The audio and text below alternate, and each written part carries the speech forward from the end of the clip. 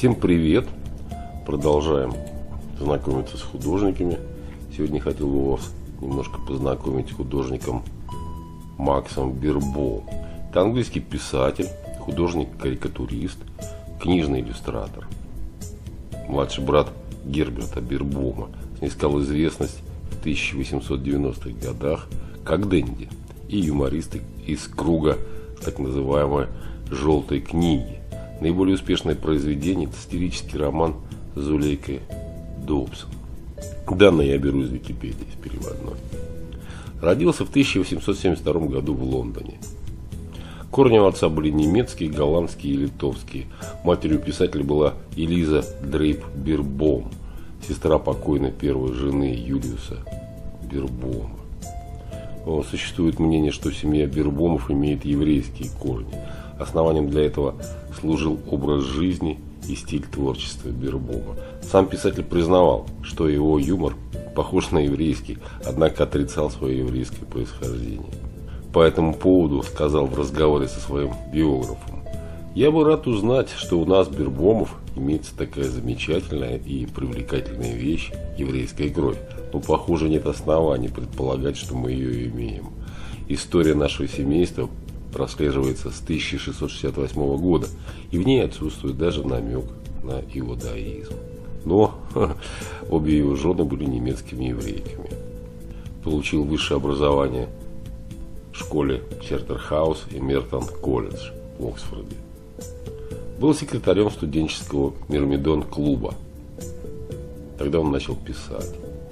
Познакомился через своего сводного брата с Оскаром Уальдом и его окружением. Не был прилежным студентом, учился посредственно, но стал заметной фигурой в Оксфордском обществе. Также начал представлять статьи и карикатуры в лондонские издания, которые встречались с энтузиазмом. В молодости был влюблен в юную театральную актрису Минни Терри, которой еще не исполнилось в то время даже 10 лет.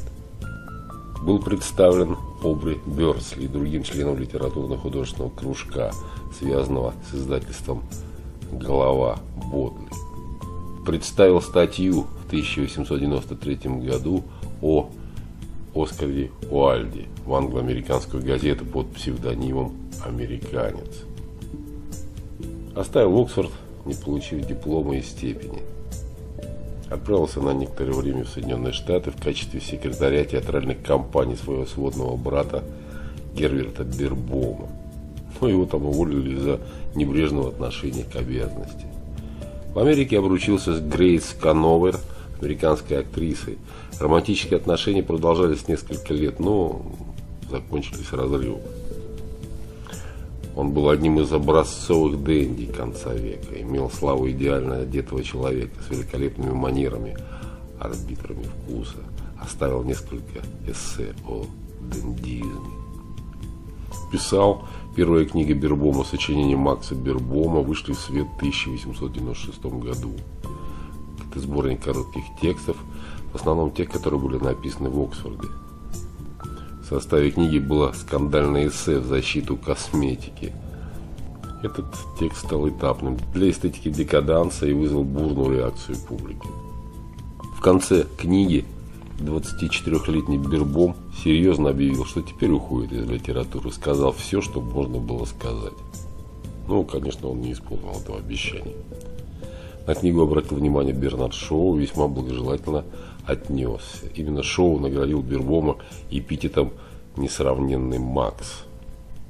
Писал рецензии для лондонского субботнего обозрения, сменив на этом посту Бернанда Шоу. Познакомился, а впоследствии поженился с актрисой Флоренс Кан. Детей у них не было. Существует мнение, которое распространяет журналист Макголь Маггейс, что Бербом был латентным гомосексуалом, и женщины его не привлекали, а его брак с Флоренс был фиктивным. Однако Дэвид Сейсел писал о Бербоме, хотя он не демонстрировал морального неодобрения гомосексуализма, не был склонен этому и сам. Напротив, он считал, что это большое несчастье, которое желательно избегать, если это возможно. Бербом – культовая фигура в английском культурном обществе, посвящен в рыцарское достоинство королем Георгом VI в 1939 году. радиовещательная корпорация BBC предложила ему вести регулярные радиопередачи на свободные темы, и он согласился. Во время Второй мировой войны вместе с женой оставались Британии. Незадолго до смерти Макс Бирбом вступил в брак с собственной бывшей секретаршей Элизабет Юнгман.